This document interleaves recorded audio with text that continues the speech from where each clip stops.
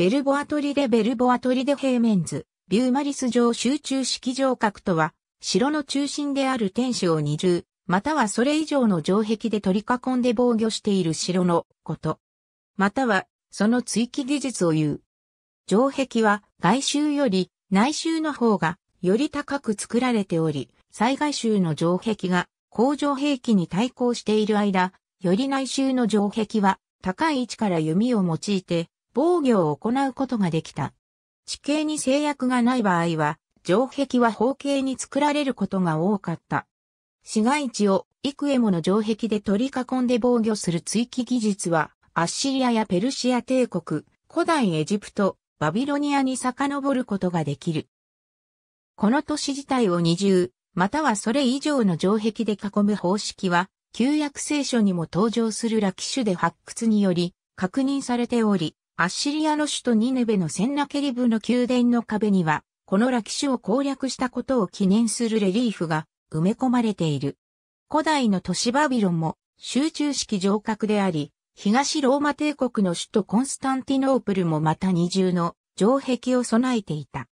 城として集中式城郭が確認できる最も古いものは12世紀に十字軍の聖ヨハネ騎士団が現在のイスラエルで建てたベルボア砦であろう。また同じく12世紀に作られたシリアにあるクラックでシュバリエ城塞は現在最も保存状態が良い集中式城郭とされている。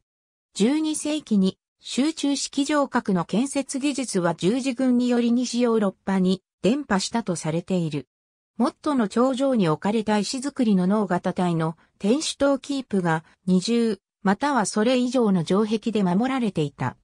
内側に行くほど壁を高くして外壁を破られても内側の防御が有利になるよう工夫されている場合もあった。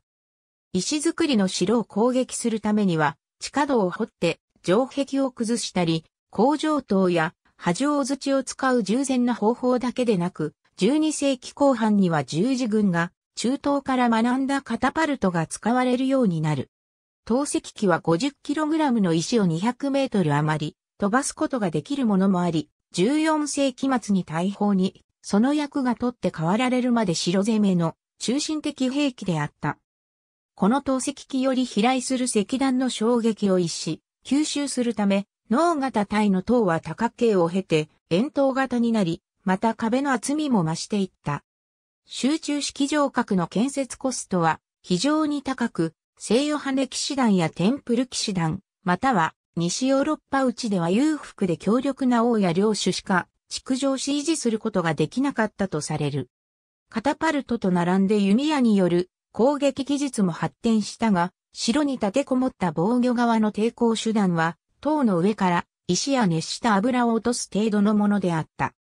12世紀後半になり、塔や城壁に矢様を設けて、クロスボウを用いて反撃を行うようになった。城壁には壁面から突出する半円形の塔を配し、そこに矢様を設けることで城壁に取り付く敵兵に左右から追いかけることが可能となった。こうして、城の軍事的機能の中心は、天守塔から側防等を配した城壁に移行していった。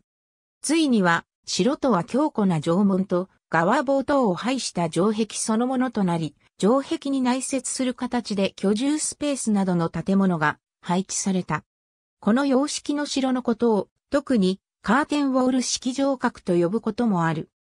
カーテンウォール式城郭では、天守塔の軍事的意味は消滅し、強固な城門であるゲートハウスがその役目を担うことになった。ありがとうございます。